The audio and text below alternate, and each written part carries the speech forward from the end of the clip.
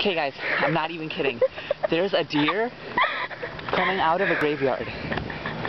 It's a ghost deer. We're sneaking out. I want to get close. I want to get closer and see if it's a soul-stealing, evil deer. Oh,